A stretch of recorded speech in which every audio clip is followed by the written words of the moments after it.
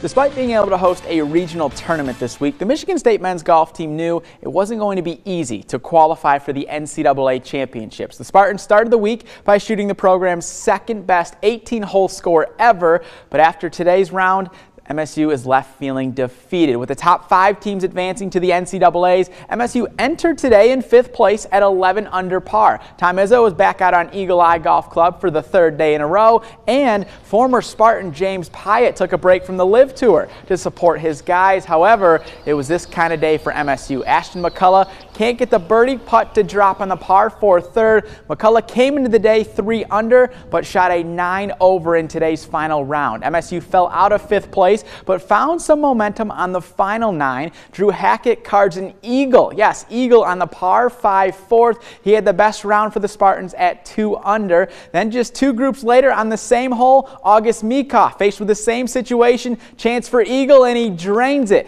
Meekhof was three over on the day to finish the tournament even par. On MSU's final hole of the day, fifth-year senior Troy Taylor II was putting for par on the par four ninth. He would have to settle for bogey and a six over today, but he will always remember the hug he shared with his head coach, Casey Lubahn, after his final round as a Spartan. MSU shot 10 over par today and missed the cut with a total score of one under. And while the season comes to an end after a seventh place finish, Taylor's career gives them plenty of reasons to celebrate.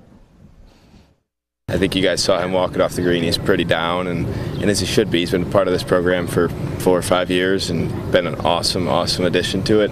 So we're definitely going to go celebrate his career. Troy committed seven and a half years ago, and we talked to him on the phone two years before that. So that's nine and a half years he's been a part of my life. Um, and you know he gave everything he had. Probably at times tried too hard because he wanted to be so successful. And he's one of my all-time favorite humans.